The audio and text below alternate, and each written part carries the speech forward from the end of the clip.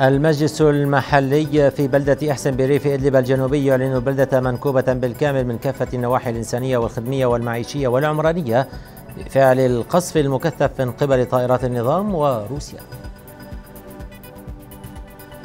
ارتفاع حصيلة ضحايا الغارات الجوية على البارة ومعرة النعمان والفطيرة وكفرموس في ريف إدلب إلى 12 شخصا بينهم أطفال إضافة لسقوط العديد من الجرحى. مقتل عنصر من قوات الأسايش وإصابة آخر إثر تفجير دراجة نارية مفخخة بدورية لهم أثناء مرورها في حي الطلائع بمدينة الحسكة.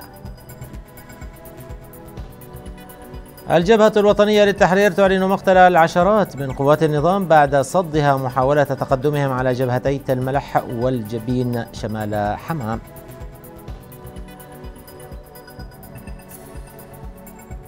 الجبهة الوطنية للتحرير تعلن مقتل ثلاثة عناصر من قوات النظام وتدمير رشاش بعد استهداف موقع لهم على جبهة القصابية في ريف حما الشمالي.